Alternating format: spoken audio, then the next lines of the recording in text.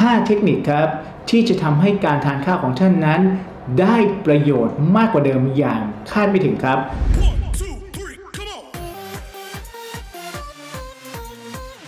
Come on, come on. สวัสดีครับ ผมหมอท็อปนะครับ และนี่คือ Doctor Top Channel ครับ รายการสุขภาพที่ทั้งสนุกและมีสาระครับวู้ฮู้วันนี้ครับเราจะมาคุยกันเรื่องของข้าวครับ 5 เทคนิคครับ ที่จะทำให้การทานข้าวของท่านนั้น ได้ประโยชน์มากกว่าเดิมอย่างคาดไม่ถึงครับ ก่อนไปครับอย่าลืมกดไลค์กดแชร์กด subscribe และกดกระดิ่งขอบคุณครับสำหรับท่านที่มีเวลาน้อย ผมขออนุญาตให้กระโดดไปที่ 3 นาทีสุดท้ายครับ ผมสรุปไว้ให้เรียบร้อยแล้ว ส่วนท่านที่มีเวลาเราไปลุยพร้อมๆกันเลยครับเรื่องของการทานข้าวนั้นเนี่ยผมบอกว่าสำหรับคนไทยแล้วมันสำคัญมากๆสำคัญแบบสุดๆนะครับ คือต้องบอกเลยว่าประเทศไทยเนี่ยเป็นประเทศที่ทานข้าวเยอะมากนะครับ แล้วก็แทบจะเป็นอาหารหลักของชาติเลยนะครับ เพราะฉะนั้นแล้วเนี่ยการที่จะรู้ว่าทานข้าวอย่างไรนะครับ ให้ได้ประโยชน์มากสูงสุด ให้ได้สุขภาพดีที่สุดผมว่าจำเป็นมากๆนะครับ เพราะฉะนั้นแล้วเนี่ยช่วยแชร์ไปครับ แชร์ไปให้คนที่คุณรักคนที่คุณห่วงใยผมรับรองครับว่าจะได้ประโยชน์มากๆ แล้วก็มีสุขภาพดีนะครับ เพียงแค่ท่านมีเทคนิค 5 เทคนิคนี้ครับ โอเคครับ เทคนิคแรกคือนำข้าวไปแช่เย็นครับ ถูกต้องครับนำข้าวไปแช่เย็นครับ แล้วนำมาอุ่นทาน แบบนี้จะได้คุณค่าจากข้าวมากกว่าเดิมอย่างไรครับ ผมจะเล่าให้ฟังครับ ก็คือเมื่อไหร่ก็ตามที่ท่านนำข้าวไปแช่เย็น แล้วนำมาอุ่นทาน ข้าวนั้นเนี่ยจะทำให้ตัวเขาเรียกว่าการดูดซึมนั้นเนี่ยยากกว่าเดิมนะครับ เรียกว่า resistant starch ก็คือ ตัวแป้งเนี่ยมีความดื้อดึงในการที่ร่างกายจะดูดซึมเข้าไป มันก็จะเหมือนกับเรากินอาหารที่มีกากใยเยอะๆ เหมือนกินผักกินอะไรพวกนี้นะครับ คือดูดซึมช้า เมื่อดูดซึมช้าเกิดอะไรขึ้นนะครับ ก็จะทำให้น้ำตาลในเลือดของเราเนี่ยไม่พุ่งกระฉูดรวดเร็วนะครับปัญหาของคนไทยที่มักจะเป็นโรคเบาหวานคุมน้ำตาลไม่ได้เป็นโรคต่างๆ มากมายเนี่ยต้นเหตุหลาย ๆ ครั้งนะครับก็เกิดจากการทานข้าวในปริมาณมากเกินไป เพราะฉะนั้นถ้าเราสามารถทำให้ข้าวนะครับดูดซึมได้ยากกว่าเดิมนะครับก็จะทำให้อัตราการเกิดโรคเบาหวานนะครับหรือว่าอัตราการที่มีภาวะดื้อต่ออินซูลินนั้นต่ำลง ต้องบอกให้ครับ มีการวิจัยเลยครับ แบ่งเป็น 3 กลุ่ม ข้าวหุงสุกข้าวเย็นๆ ทิ้งไว้ 1 คืนนะครับ กับข้าวแช่เย็นนะครับ ทิ้งไว้ 24 ชั่วโมง แช่เย็นที่ 4 องศานะ แล้วเอามาอุ่นแล้วทานเนี่ย วิจัยแล้วพบว่าข้าวแช่เย็นไว้เนี่ย 24 ชั่วโมงนะครับ ในอุณหภูมิ 4 องศา จะมีนะครับ resistant starch หรือภาวะที่ทำให้ดูดซึมแป้งจากตัวข้าวเนี้ยยากกว่าเดิมครับ ก็จะทำให้เป็นไงครับ เรานั้นเนี่ยเหมือนทานผักเข้าไปเลยทีเดียวนะครับ ก็ดีมากๆนะฮะลดทั้งเบาหวานลดทั้งไขมันลดทั้งความดันลดทั้งเสี่ยงมะเร็งลำไส้นะฮะก็ลองมาดูนะครับก็ข้าวแช่เย็นนะครับ แล้วนำมาอุ่นนะครับ ก็จะได้ประโยชน์ที่เหนือกว่าเดิมครับ โอเคครับ มาต่อกันข้อที่ 2 กันบ้างครับ ข้อที่ 2 ก็คือการเลือกพันธุ์ข้าวให้ถูกต้องนั่นเองครับ ข้าวนั้นมีหลายอย่างนะครับไม่ว่าจะเป็นข้าวขาวนะครับข้าวกล้องข้าวไรซ์เบอร์รี่ข้าวนู่นนี่เยอะแยะนะครับ เราต้องรู้ว่าตัวข้าวนั้นเนี่ยมีความสำคัญตรง glycemic index ครับจะสุขภาพดีหรือสุขภาพไม่ดีเนี่ยดูที่ glycemic index เนี่ยช่วยได้เยอะเลยนะครับ เพราะอะไร เพราะ glycemic index ที่สูงมากๆ เนี่ยจะทำให้น้ำตาลเราสูงเร็ว จะทำให้เกิดภาวะ insulin spiking หรือการพุ่งกระฉูดของอินซูลิน แบบนี้เนี่ย ถ้าใครก็ตามมีภาวะ insulin spiking บ่อยๆ นะครับจะทำให้ร่างกายเราเนี่ยไม่ค่อยสบายดีเท่าไหร่นะครับ ไม่ว่าจะเป็นเบาหวานง่าย มีภาวะดื้ออินซูลิน มีห่วงยางรอบเอวนะครับ ซึ่งไม่ค่อยแนะนำนะครับ ข้าวที่มี glycemic index สูงมาก ๆ เลยก็คือข้าวขาวหรือข้าวที่ขัดสีเยอะๆนะครับ เพราะฉะนั้นไม่ค่อยแนะนำให้ทานข้าวขาวโดยส่วนตัวนะครับ บ้านผมเนี่ยจะทานแต่ข้าวกล้องข้าวไรซ์เบอร์รี่นะครับบางทีก็ผสมกันทานนะครับ ลูกสาวผมนะครับหกขวบครับก็ทานข้าวกล้องข้าวไรซ์เบอร์รี่ตลอดนะครับก็อร่อยดีแล้วก็เติบโตสมบูรณ์ร่างกายแข็งแรงดีนะครับก็ลองเลือกดูครับไม่ว่าจะเป็นข้าวขาวข้าวกล้องข้าวไรซ์เบอร์รี่นะครับหรือพันธุ์ข้าวต่างๆของไทยมีให้เลือกหลากหลายนะครับถ้าเกิดเราอยากรู้รายละเอียด เราก็ลองไปดูซิว่าข้าวแต่ละอย่างนั้นมี glycemic index เท่าไหร่นั่นเองครับ และข้าวที่มี glycemic index สูงสุด ก็คือข้าวขาวและข้าวขัดสีที่แบบดูใสสะอาดนั่นเองครับ คราวนี้ครับมาดูเทคนิคข้อที่ 3 กันบ้างครับ นั่นคือให้ผสมพันธุ์ข้าวครับ เวลาเราทานครับ ถามว่าเพราะอะไรนะครับ ผมบอกงี้ฮะ ให้ผสมพันธุ์ข้าวด้วย และให้สลับพันธุ์ข้าวทานไปเรื่อยๆนะครับไม่ว่าจะเป็นข้าวกล้องที่มีวิตามิน B สูงนะครับไม่ว่าจะเป็น B1 B2 B รวมนะครับหรือฟอสฟอรัสแคลเซียมนะครับธาตุเหล็กนะครับข้าวกล้องมีสูง ก็คือดีของเขาข้าวไรซ์เบอร์รี่นะครับไม่ว่าจะเป็นโฟเลตไม่ว่าจะเป็นสารต้านอนุมูลอิสระ ไม่ว่าจะเป็นแอนโทไซยานินนะครับเพราะฉะนั้นเราก็เอามารวมกันเลยครับ เราจะได้ได้ประโยชน์จากข้าวที่เราทานได้สูงสุดนะครับ และถ้าจะให้ดีครับ ต้องบอกงี้ฮะว่าเราทานข้าวสลับพันธุ์ไปเรื่อยๆ เดือนนี้พันธุ์นี้เดือนนี้อีกพันธุ์หนึ่งสลับไปผสมไปผสมมานะครับ ได้รสชาติที่แปลกใหม่ และยังได้วิตามินที่แตกต่างกันด้วยครับ สลับกันทานก็มักจะได้วิตามินมาเสริม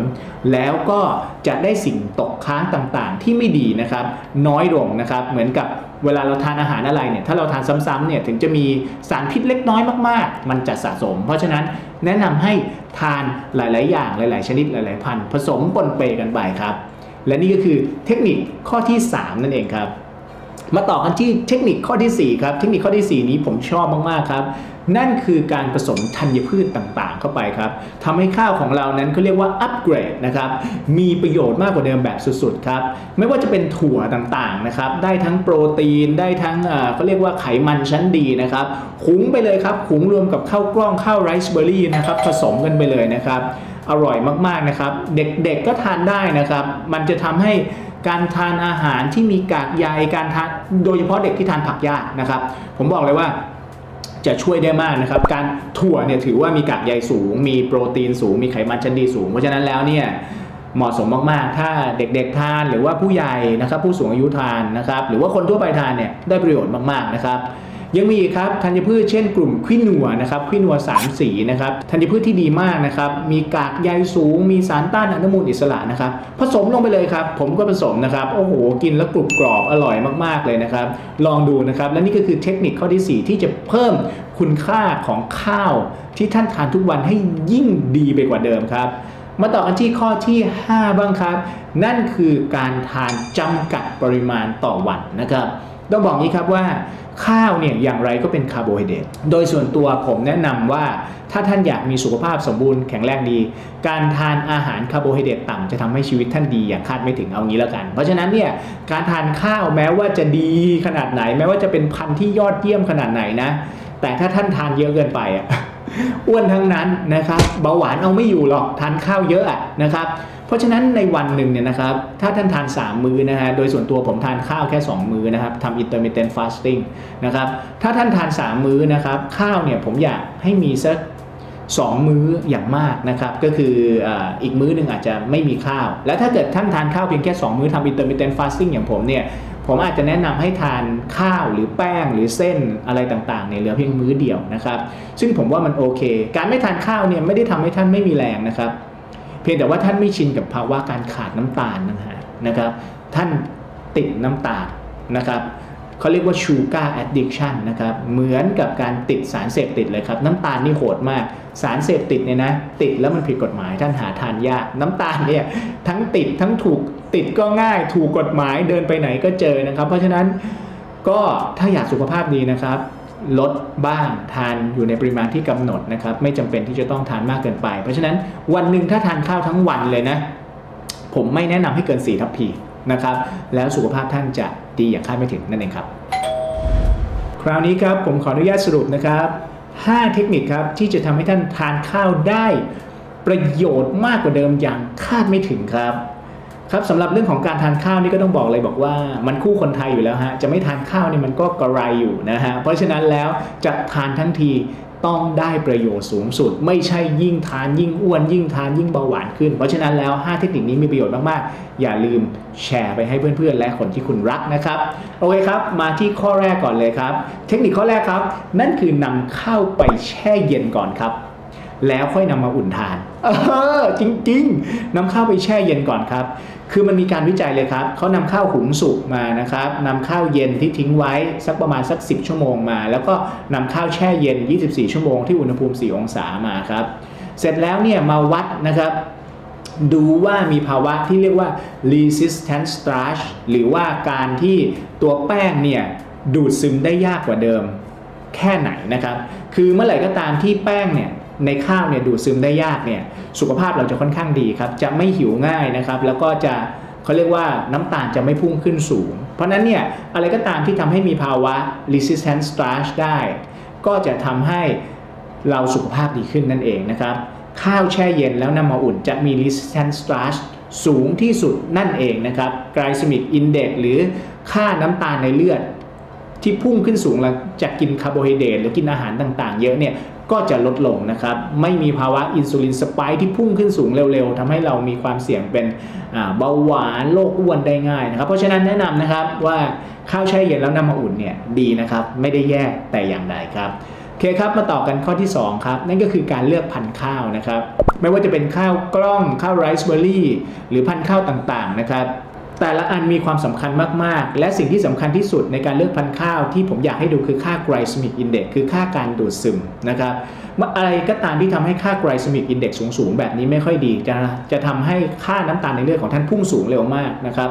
แบบนี้จะเป็นเบาหวานได้ง่าย จะดื้ออินซูลินได้ง่าย แล้วก็มีภาวะอ้วนได้ง่าย และข้าวที่มี glycemic index สูงที่สุดก็คือข้าวขาวนั่นเองครับ เพราะฉะนั้นโดยส่วนตัวผมแนะนำให้ทานข้าวกลุ่มพวกข้าวกล้องข้าวที่ไม่ขัดสีหรือข้าวไรซ์เบอร์รี่ครับ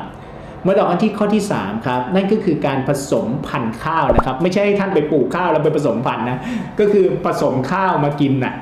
คืออย่างผมเนี่ยจะหุงผสมกันเช่นข้าวข้าวข้ากล้องกับข้าวไรซ์เบอร์รี่อย่างเงี้ยนะครับก็จะทำให้เราได้วิตามินหลากหลาย หรือบางคนไม่ชอบผสม ก็แนะนำให้สลับพันธุ์ข้าวทาน เช่น เดือนนี้ทานข้าวกล้องนะอีกเดือนทานไรซ์เบอร์รี่อีกเดือนหนึ่งก็ทานยี่ห้ออื่นปนๆกันไป เพราะว่าวิตามินที่ได้นั้น แตกต่างกัน เช่นในข้าวกล้องมีวิตามิน B1 B2 เหล็ก B รวมสูง แต่ในข้าวไรซ์เบอร์รี่อาจจะมีพวกแอนโทไซยานิน สารต้านอนุมูลอิสระโฟเลตสูง เรากินหลาย ๆ สลับกันไปก็จะได้ประโยชน์สูงสุดนั่นเองครับ แล้วมาต่อกันที่ข้อทีสี่4 ครับ อันนี้ผมก็ชอบมาก ๆ นั่นคือผสมธัญพืชลงไปครับ ถั่วเนี่ยอร่อยเลย ใส่ลงไปนะครับ ได้ทั้งโปรตีนได้ทั้งไขมันชั้นดี ได้ทั้งกากใหญ่นะครับ จะทำให้ข้าวกล้องข้าวไรซ์เบอร์รี่ของท่านนั้น อร่อยมากขึ้น รวมทั้งได้ประโยชน์อย่างคาดไม่ถึงครับอีกยังไม่พอครับ ใส่อีกตัวหนึ่งที่ผมชอบใส่มากคือควินัวครับควินัวเนี่ยถือว่าเป็นธัญพืชชั้นดีมากๆนะครับ จะทำให้ได้กากใยจะทำให้ได้สารอาหาร จะทำให้ได้วิตามินต่างๆ มากมายนะครับ แนะนำให้ใส่ลงไปเลยนะครับ ใส่แล้วก็หุงลงไปเลยครับหุงด้วยกันนะครับ อร่อยมากๆนะครับ และข้อสุดท้ายคือข้อที่ 5 อันนี้ก็สำคัญที่สุดครับ นั่นคือทานในปริมาณที่พอดี ไม่ว่าข้าวที่ท่านเลือกจะดียอดเยี่ยม มาจากโลกใบไหนก็ตามนะฮะเลี้ยงพันธุ์ดีอย่างไรก็ตาม สุดท้ายมันคือคาร์โบไฮเดรตถ้าท่านทานมากเกินไป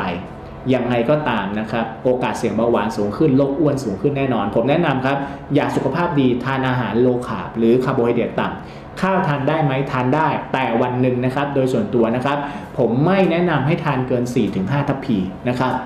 แค่นี้คือเยอะแล้วนะครับ โดยส่วนตัวผมทานข้าววันละหนึ่งทัพพีนะครับ คือ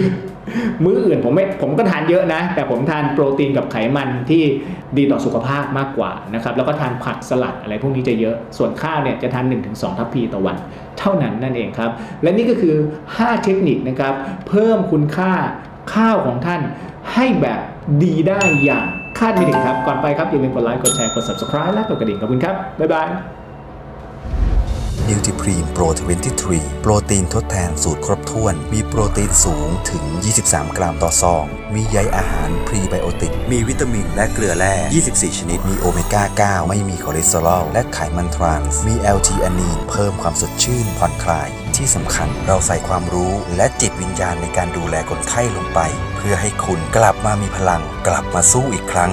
ด้วยนิวทรีพรีมโปร23 พร้อมเคียงข้างดูแลคุณในทุกช่วงเวลา